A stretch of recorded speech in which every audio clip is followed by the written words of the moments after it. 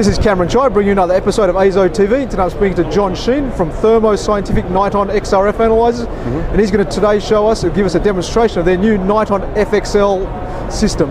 Great. Thanks, Cameron. So what we have here, the Thermo Scientific Niton FXL, is our new platform, uh, completely new uh, concept in mobile XRF testing. What we've done is we've taken the features that are typically found on lab grade analyzers, combined those with the ease of use that people have become accustomed to with our best handheld XRF analyzers, and married them together in a field mobile platform that's ruggedized and designed for people to use out in the field. So it's got a large sample chamber designed to accommodate drill cores, printed circuit boards, uh, bagged samples for uh, mining and exploration.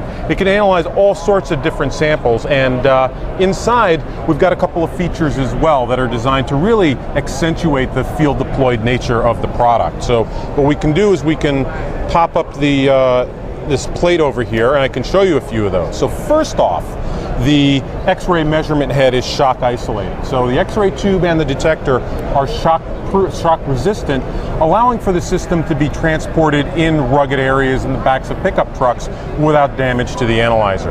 Another really interesting feature that we've got is an, a flow-through air plenum that keeps the electronics, the very sensitive electronics of the analyzer, completely isolated from the dust and dirt that's present in typical uh, in typical industrial and mining environments. So it uh, preserves and protects the uh, the analyzer while at the same time allowing it to stay cool and operate in uh, very difficult conditions.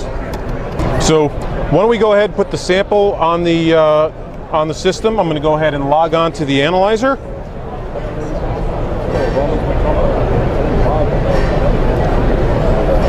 So to take a measurement, uh, for, again, for those familiar with our, uh, our handhelds, what we'll do is we'll come into method setup. We're going to select mining, in this case, copper zinc.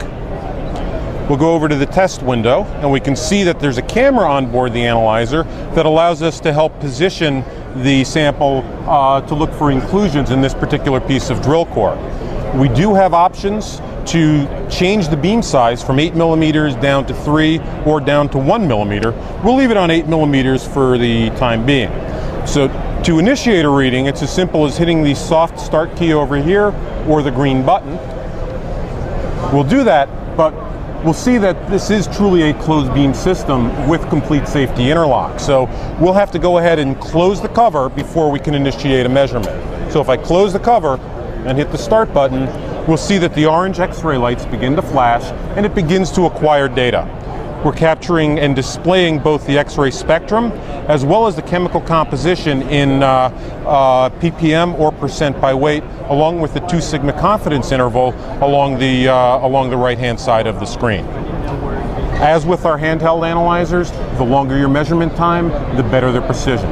For every fourfold increase in measurement time, the precision improves by a factor of two. Now, a couple of the features that this has that we've taken from the laboratory and brought to the to the field are a 10 watt X-ray tube. That compares to the 2 watt X-ray tube we have in our handhelds. What that means, everything else being equal, is that customers will be looking at detection limits roughly 50% lower than our very best handheld analyzers. At the same time, we'll have options for the XY sample stage as well as a sample spinner. And the samples, those are both features that are typically found in lab grade XRF analyzers. So what we've done is we've taken the best parts of the lab systems, uh, combine those with the ease of use of our handhelds, put that into a field deployable package that can run on batteries or on AC power and uh, operates reliably and ruggedly out in the field at the same time making it very easy to use. So John, we can see it's quite a compact unit. Can you tell us about how much it weighs? Sure, it weighs about uh, 13 kilos or uh, 30 pounds, thereabouts. So it's still quite portable and easy to carry around relatively? Exactly, so we can, we can easily close up the lid, pick it up like that, and uh, take it around to uh, wherever it is you need to go.